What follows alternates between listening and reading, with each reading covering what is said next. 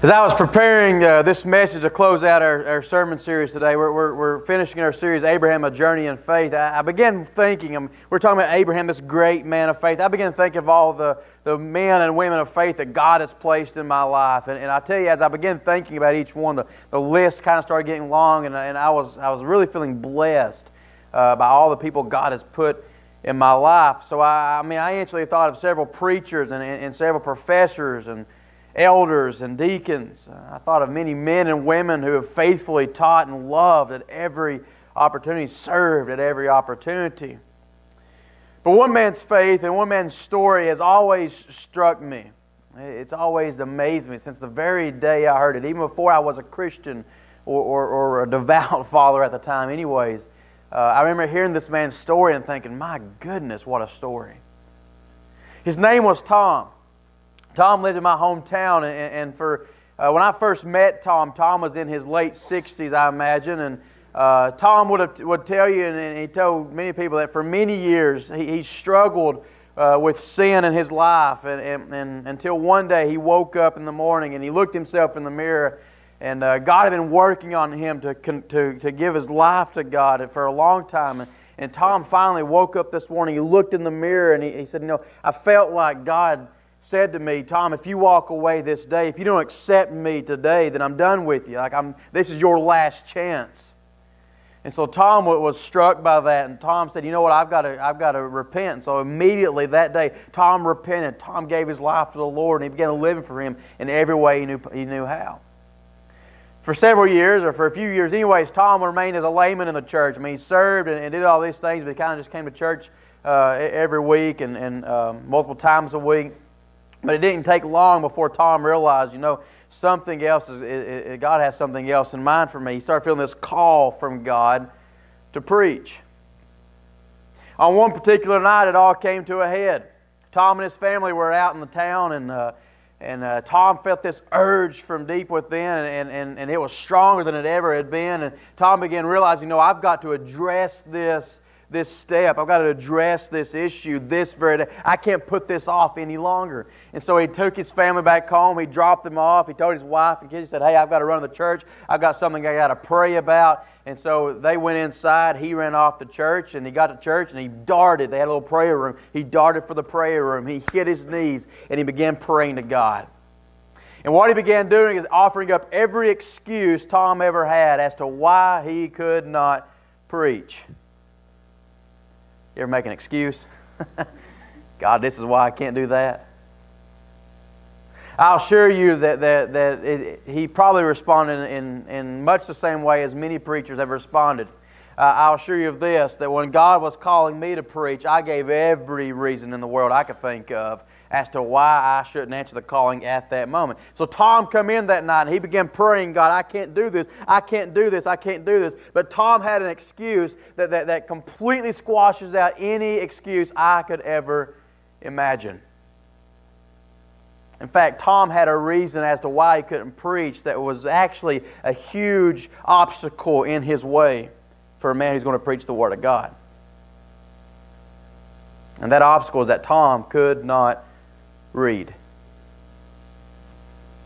As a young boy, Tom had, uh, he had to quit school at a very early age because uh, his family needed, needed work. So Tom quit school and he had to go to work for his family. And uh, so Tom never went through school. And so, at an, at, even as an adult now, Tom could not read.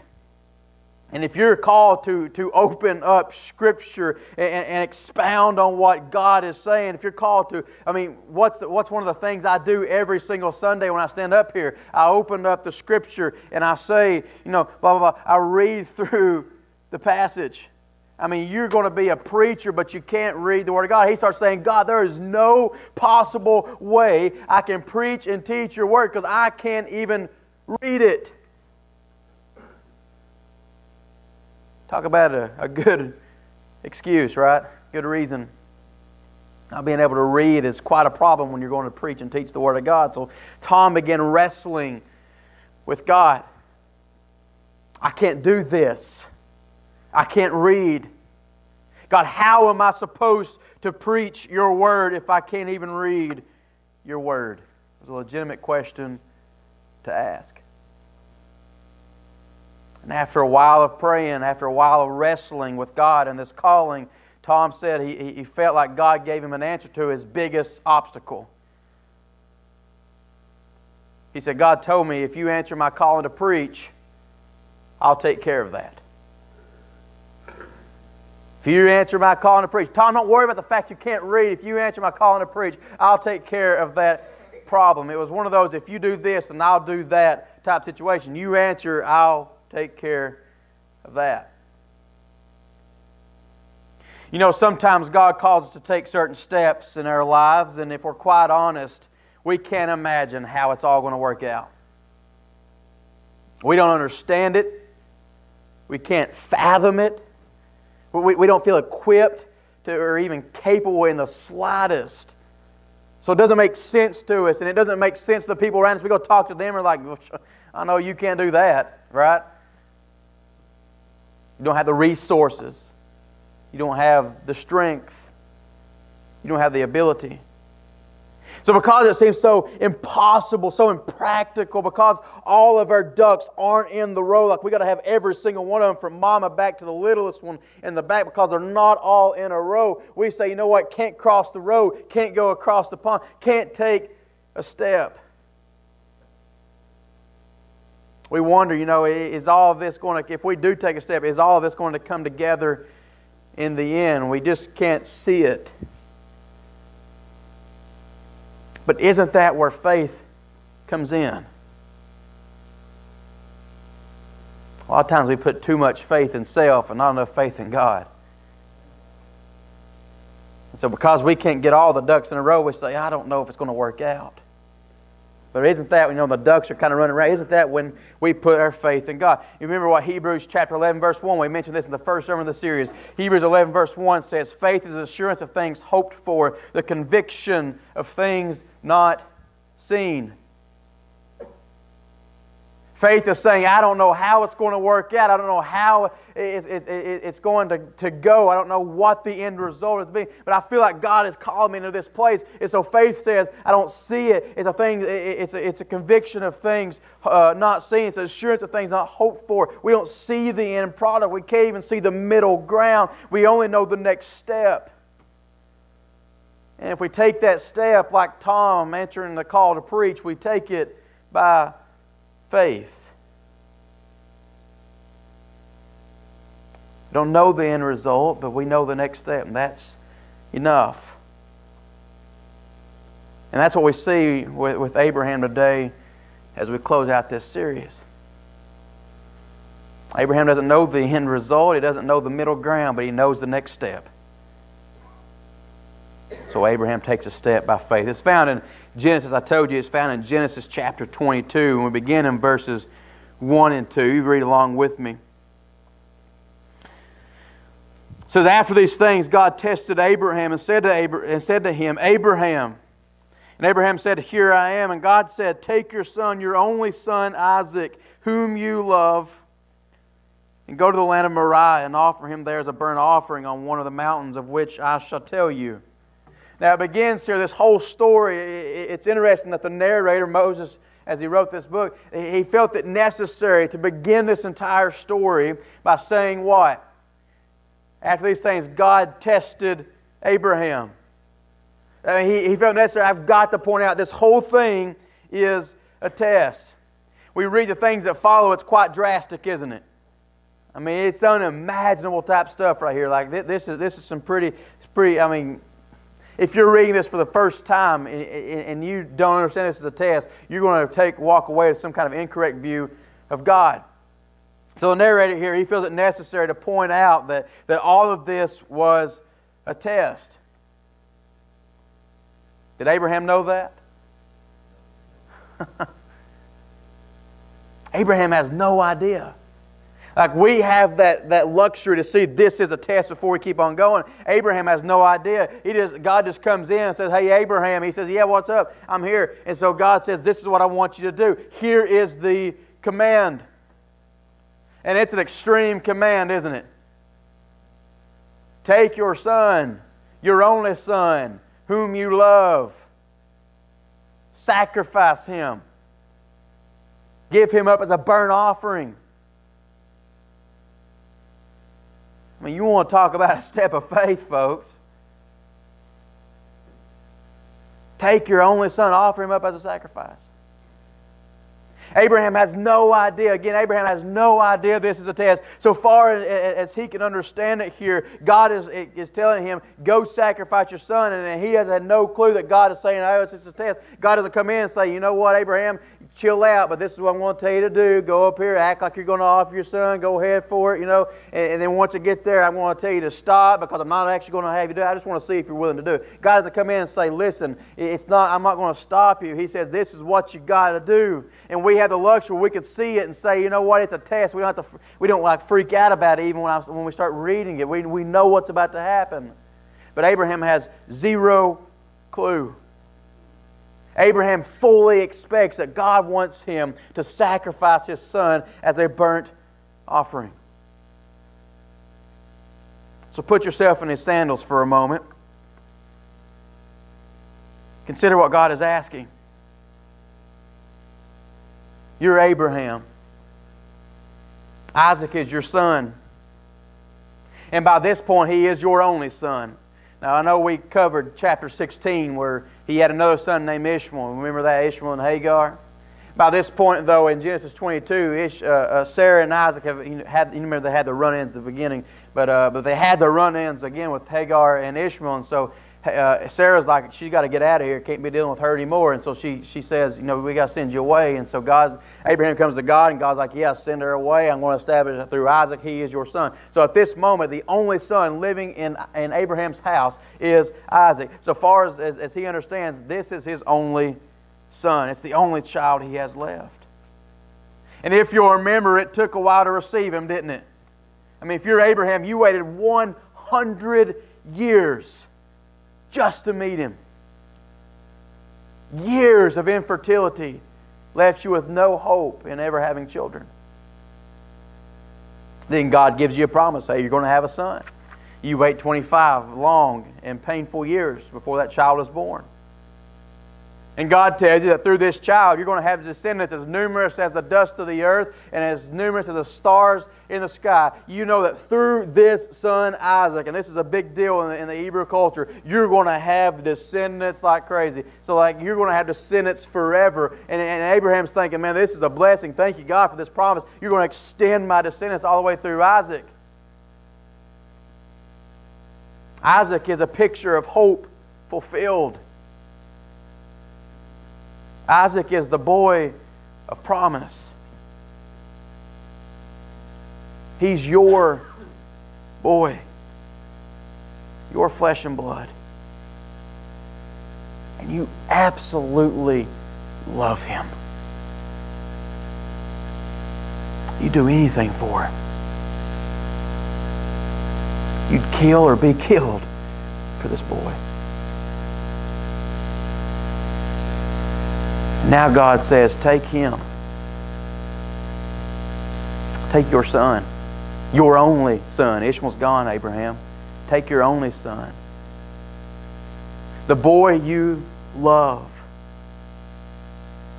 And offer him as a burnt offering for me.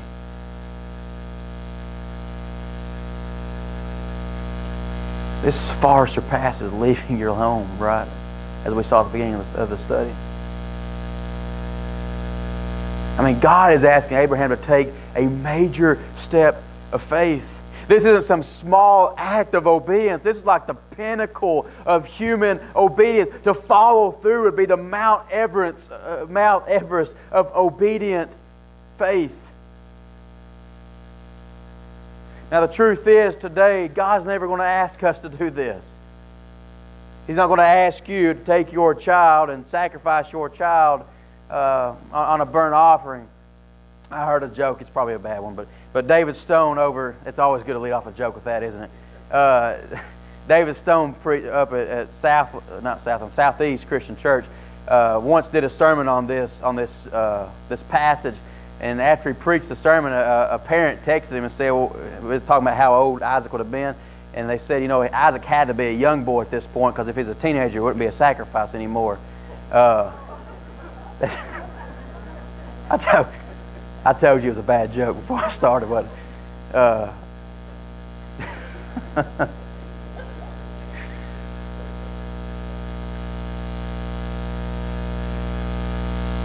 they didn't have anything to do with the next thing I'm going to say, but. This is a great step of faith. And the truth is, God isn't going to ask any of us to do that, that type of faith, to take that type of step. I mean, this is a one time test, and this one time test really points to what God's going to do in the New Testament, right? I mean, take your one and only son, to take your only son, well, that, that, that obviously has some connotations of the New Testament, that, that God is going to sacrifice his only son. He's going to call Abraham to, to do, eh, he's going to stop Abraham short of doing something that only God would do himself. And just a small fun fact the sacrifice of Christ is quite believed to have happened on the same mountain in Moriah that Abraham began to offer up Isaac. So God's probably not going to, He's not going to ask you to do this. But as we spoke about in the first sermon of this series, God's likely going to ask you to do something, isn't He? I mean, God's never said, hey, become a Christian and just sit there Remember the Great Commission? we have a job to do. So God's not going to say, just sit there, become a Christian, get your ticket into heaven, relax. I mean, God's going to call us to do something, take some step of faith for Him. Maybe like Abraham, it involves a sacrifice, whether that's of your time or your energy or your, or your finances. Maybe, God, as we spoke about again in the first week, maybe it's to downsize, to tithe, or to give above your tithe.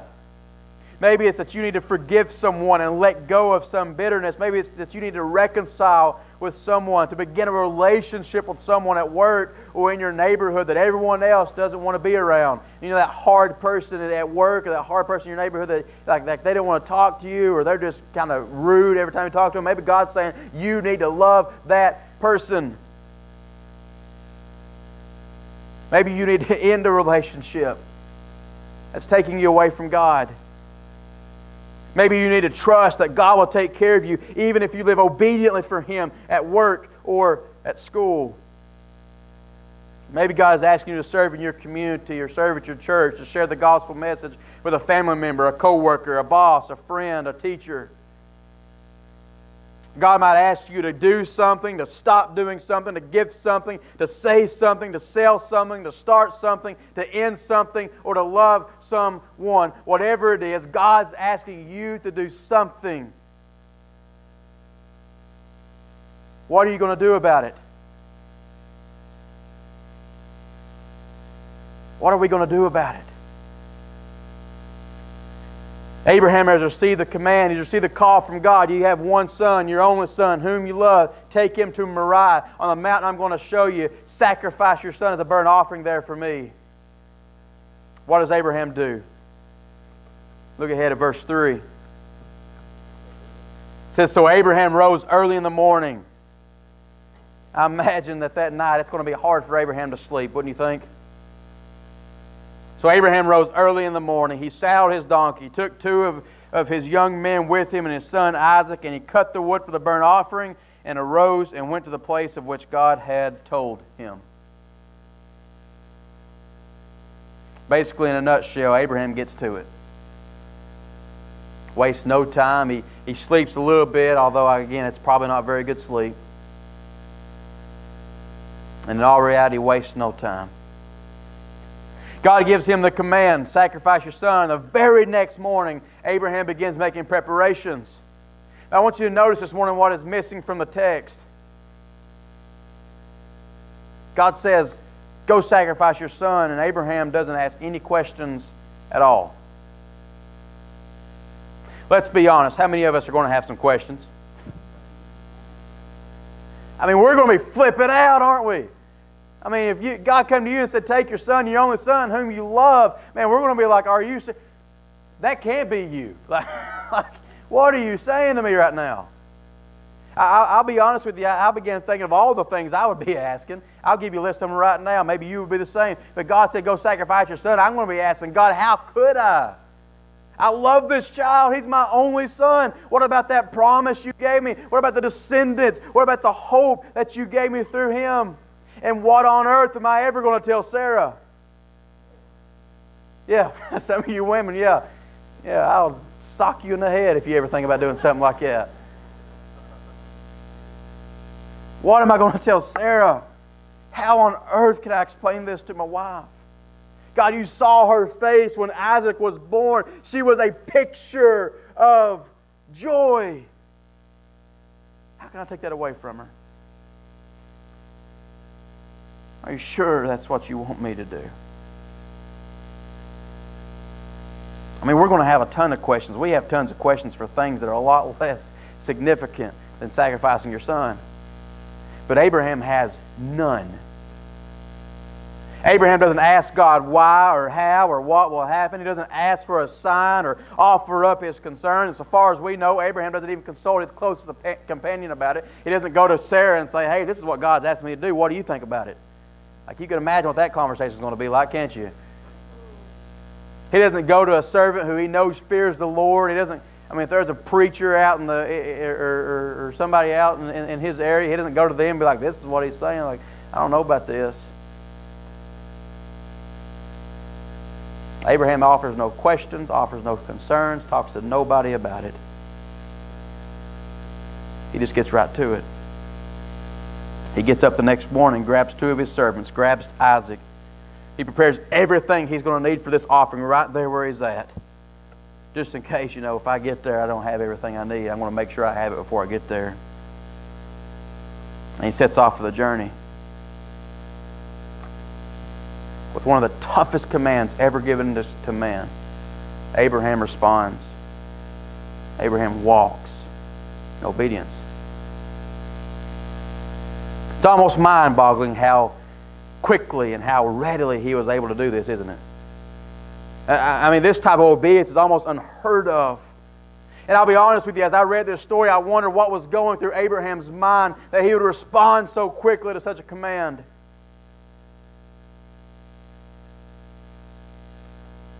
But then I look closer at the text. And within these verses, we find the answer to that question. We find it actually in verses 7 and 8. They begin the journey. It's about a three day journey. And once they, they take off, Abraham gets up here, and, and, and on the third day, he looks up and he sees the mountain on which God is telling him to go. And so he stops right here and he says, Hey, uh, servants, y'all stay here with the donkey. Me and the boy, we're going to go up here to, uh, to the mountain. And then we read this in verse 7 and 8. And Isaac said to his father Abraham, My father. Abraham said, Here I am, my son. Isaac said, Behold the fire and the wood, but where's the lamb for a burnt offering? Abraham said, God will provide for himself the lamb for a burnt offering, my son. So both went so, so they went, both of them together. We mentioned the age of Isaac. By, by, by most people's estimations, Isaac is probably in his teenage years. Some imagine that he might be in his early 20s. I've seen as upward as, as 30s. Most people settle within teenage or early 20s. But Isaac looks around at everything that's going, that, that he knows they're going up here to make a burnt offering. He sees everything that, that, that they need for that. And he realizes that, that, that they have, well, he realizes they have everything except for one crucial part for a burnt offering, and that is the sacrifice. So Isaac asks his dad, Hey, Papa, where's the lamb? And in Abraham's response, we find a glimpse of what Abraham is thinking, don't we? What, what does he say? God will provide. God will provide for himself the lamb, he will provide for himself the sacrifice. God will provide. It's an interesting response. If Isaac is supposed to be the sacrifice, as God has commanded, then isn't the sacrifice already there? I mean, if we think about it, the sacrifice is walking right there. Where's the lamb? Where, honestly, Isaac, you're the lamb, right? I mean, Isaac is the one walking right there with Abraham in Abraham's mind. He's the one carrying the wood for the sacrifice. So it's an interesting response because Abraham says God will provide. But it points to Abraham's great faith. You see, Abraham knows the promise of God. Abraham, as we've mentioned throughout this series, knows that God has promised that through Isaac, he is going to establish Abraham's descendants, and they're going to be like the dust of the earth, and they're going to be like the stars in the sky forever. So, in Abraham's mind, somehow Isaac will walk away from this day. In fact, if you go back to verse 5, we didn't read verse 5, we're going to read it now. If you go back to verse 5, we see this idea. It says, Then Abraham said to his young men, Stay here with the donkey, I and the boy will go over there and worship and come again to you. Abraham doesn't say, I alone will come back to you. He says, I and the boy are going to go over here. We're going to worship and we're going to come back to you. Abraham believes that both Isaac and himself are going to return. The author of Hebrews adds to Abraham's thought process this way surrounding this event. Hebrews 11, verses 17 and 19, specifically verse 19, says, By faith, Abraham did all of this because he considered that God was able to even raise, or able even to raise him from the dead. You want to talk about some faith? Up to this point in, in, in Genesis, we have read nothing of a resurrection from the dead. I mean, that is unheard of. Someone dies, they go to the ground, they're, they're done forever.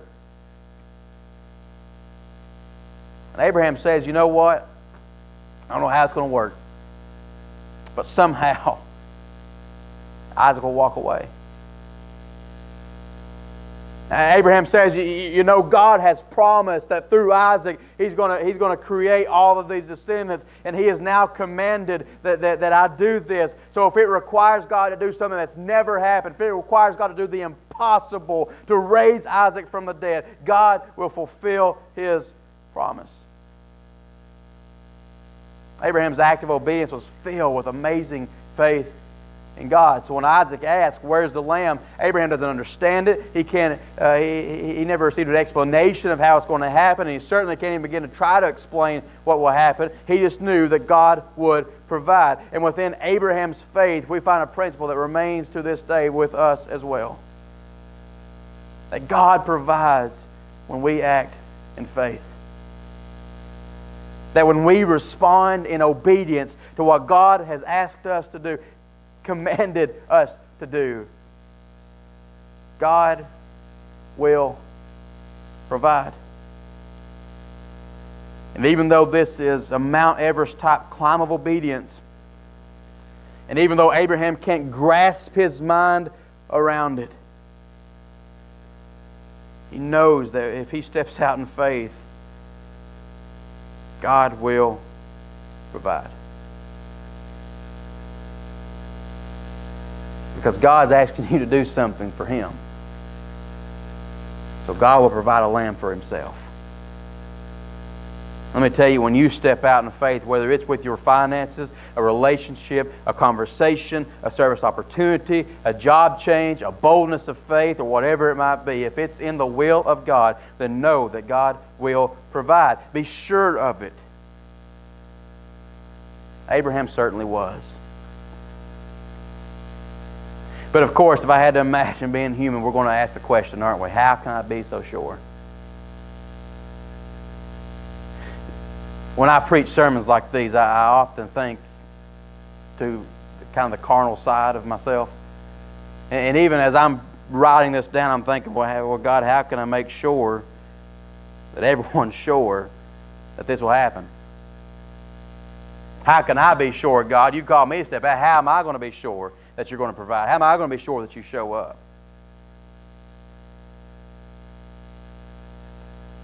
Part of that faith problem, isn't it? Think about, think about Abraham for just a moment. How can Abraham be so sure? And let's talk about Abraham. Consider again what's going on here. If Abraham goes through with this, Abraham again not knowing the end of the story, Abraham not having a clue that it's a, that it's a, that it's a test, Think about what's at stake here. If God doesn't provide, what happens? Let's be honest. If God doesn't provide the lamb before Abraham sacrificed his son, what happens? Isaac is dead. Like if God doesn't provide, how uh, what's going to happen? Isaac is dead. He doesn't just Abraham doesn't just lose some money or lose some energy or lose some of his time or, or, or possessions or whatever it might be. Abraham loses his son. And how do you explain that to your wife when you come home? Like I thought God was telling me to sacrifice my son. Apparently it wasn't so. I'm sorry. Like how are you going to go through that conversation? When risking everything, how can Abraham, how can we be so sure that God will provide? Because it's scary when you're walking up the mountain in Moriah. Your faith isn't strong. Think about Abraham's story. We've been walking now, I think it's been about eight weeks we've been walking here with Abraham. Think about Abraham's story. This Moriah incident, it isn't the first time he stepped out in faith, is it? I mean, Abraham has a story that's continually stepping out in faith, stepping out in faith, stepping out in faith, again and again. And every time Abraham stepped out in faith, he noticed a pattern. God provided. Think back to the stories we've covered. Chapter 12, Abraham's called to leave his family and his country, all of his sense of security, everyone he's ever loved, and go where God would show him. Abraham obeys and God provides. Chapter 13, Abraham gives Lot the choice of land. Choose whatever land you want, Lot, and I'll take what's left over because he believed God would take care of him. Lot takes the best land in the area, the most fertile soil. Abraham receives what is left over, what nobody wants. But what did Abraham hurt when that happened? Not at all. God provided. Chapter 14, Abraham rescues a, a, captured Lot from the middle of war. He didn't have as many soldiers as the other people had, but he went off anyways, and God provided chapter 15 through 17, Abraham receives the promise of a son named Isaac. And when Abraham was, 50, uh, was 100 years old, despite all odds, way beyond the childbearing years, he receives a, ch- a child God provided. Genesis 18, Abraham prays by faith that God would spare the righteous, and even though Sodom and Gomorrah are destroyed, Lot and his family are rescued. God provided. Time and time again, Abraham stepped out in faith. He didn't know what was going to happen when he took a step out. He had no clue what would happen at that moment, but Abraham stepped out anyways. And time and time again, as Abraham stepped out in faith, God provided. Abraham was so certain that God would provide because he had stepped out in faith before and he had seen God's provision. So, with that in mind, I want to tell you two things are true this morning. Number one, if you have never stepped out in faith in your life, you'll never know that God will provide when you act in faith. If you don't take a step of faith, you'll never know this principle to be true. Some people can't, can't be certain that God will provide because they've never acted in faith. They, they got their ticket and said, I'm going to sit in church on Sunday, maybe on a Wednesday, and we have a special event. I might show up if I don't have anything else going on. And so they never step out. They never see God provide in ways unimaginable. They never see like, like what great faith can accomplish in action. If we never step out in faith, we'll never know the provision of God. So, so, so I mean, they, they've, never crossed, they've never built an ark with Noah. They've never crossed the, Red Sea with Moses. They never marched around the walls of Jericho with Joshua. They never stood in the face of Goliath with David. They never spoken up in the face of opposition with the prophets. They never left everything they knew, eh, eh, as eh, their, their, their jobs or whatever it might be, to, to walk with Jesus, with the apostles. They never stepped out of the boat in the middle of a storm with Peter or climbed a mountain in Moriah with Abraham. Folks, if we never step out in faith, we'll never see that God provides for us. We'll continue living on our own power and we'll accomplish very little at the end of our life in regards to what God needs us to do, or requires of us to do. So if we want to know if God's going to provide, step out in faith. Try it. See if He'll provide for you. Walk in His will. And number two, if you've stepped out in faith in the will of God, then you can look back at how God's provided for your acts of faith before. You'll see where He has fulfilled promises. You've experienced it, so you can trust that He will do it again. Abraham expects God to provide because Abraham has seen it before. He's seen promise after promise be fulfilled. He doesn't know how God will provide. He doesn't know when God will provide, but he knows beyond a shadow of a doubt God will provide. So Abraham says, Isaac, we're going up this mountain. God will provide a lamb for himself. And Abraham obeys. And in the verses that follow, we see just that. Imagine this scene for a moment. It, it, picture what has taken place. I think we know this scene so well. We've heard this story so many times that we look at it and, and it kind of loses its dramatic effect, doesn't it? Imagine the tension. Imagine the awkwardness here. Abraham and Isaac reach the top of the mountain where God told them to go. Abraham builds the altar as he has always done to, to, offer up this burnt offering. He has the wood in place, he has the fire ready for its proper time. And he binds Isaac just as he would any sacrificial lamb. Again, think about the awkwardness here. Where's the lamb, Daddy? God will provide. And now Abraham is, is tying up his son with, te- with Isaac bound at this moment, I'm sure tears are flowing as Abraham places his son on the wood. Even if he believes God's going to provide, I mean, think about what he's doing to his son. Tears have This is an emotional experience. And Abraham grabs his knife and he raises it up in the air just as he would any other time. And Abraham has every single intention to bring this knife down upon his son, just as he has every lamb he has ever sacrificed for God. Tears flowing, knife in the air. Abraham begins going down, never expecting God to intervene, never thinking anything other than, I'm going to kill my son this very day. I'm going to sacrifice my son this very day. And as he brings the knife down at the last possible moment, I believe, God speaks up. Abraham, Abraham. Don't lay your, your hand on the boy or do anything to him, for, I, for now I know that you fear God, seeing you have not withheld your son, your only son, from me. And I'm sure as Abraham hears these words and he sees what he's about to did to his child, I mean, tears are flowing. These times it's not tears of like, what have I just what, have, what, what am I going to do? But it's like tears of joy because he looks up and he sees there what he hadn't seen before, that there's a ram caught over here in the thickets. God provided in Abraham's act of faith. As Abraham walked obediently for God, God provided for Abraham's act of faith, and He'll do it in our lives too. Now, I understand the timing might not be what we want or expect. I'm sure that, that, that Abraham would have wanted God to provide that ram at any point earlier than what he did like provided before the altar is made or provided before he, he bound his son as a sacrifice, definitely provided before he's raised his knife to slaughter his own son. But at the perfect moment, God provided. And if you ever stepped out in faith according to God's will, I believe He'll provide for you as well. But do you believe it enough to step out in faith? Do you believe that He'll provide enough that you're willing to step out in faith?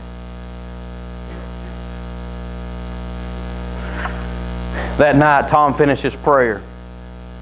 Again, he'd offered up every excuse to God, including the fact that he could not read. He finished his prayer after receiving the answer that, that he received.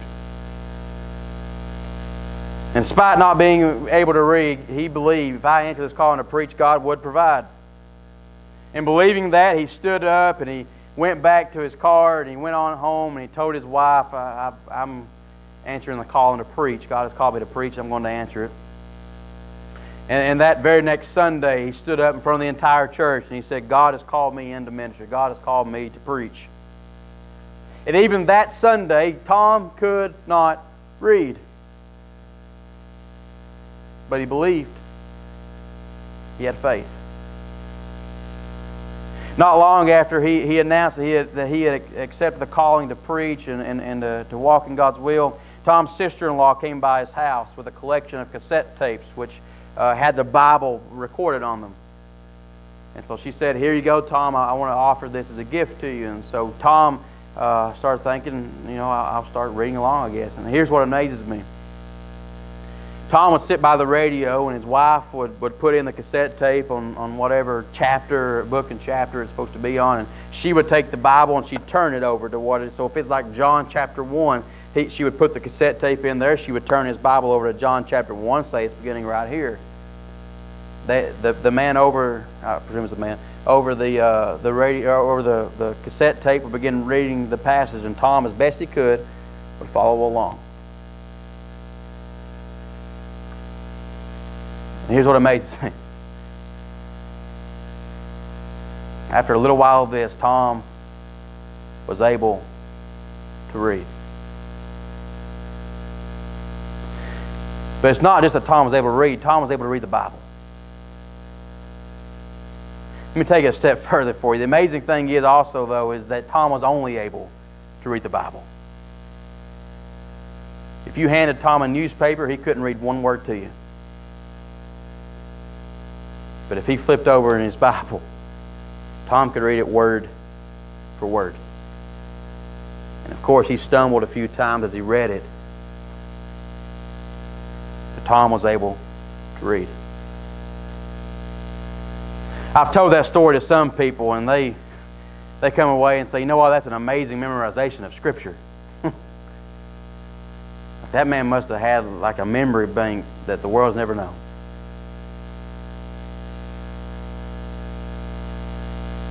But I don't believe it was just an amazing memory of Scripture. I believe Tom stepped out in faith, and God provided. If God said, You answer my calling to preach, Tom, I'll take care of that. And Tom said, You know what, God, if you're going to take care of it, I believe it, I'll step out. Tom says, I've been called to be a preacher. Tom steps out in faith, God provides, he reads the Bible. Will you step out as well? And believe me, I know this morning that you're going to have all kinds of reasons why you shouldn't like Tom who couldn't read the Bible and was called to preach, like Abraham who had one son and he had a promise that through this son he's going to have recipients, like, like he's going to have descendants uh, as numerous as the stars in the sky. We all have a reason why we shouldn't go through with this step of faith, an excuse why, you know what, that probably isn't the best idea.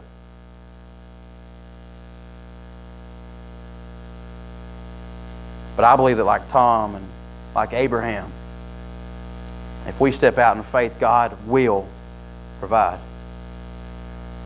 He'll provide in His way and in His timing, but one way or another, God will provide when we step out in faith. But here's the thing you'll never know it to be true if you don't take that step yourself. So, whatever it is God is asking you to do for Him today, whatever step God is asking you to take, go ahead and throw your excuses out the window. Take that step of faith today. And watch and be amazed as you see how God will provide for you.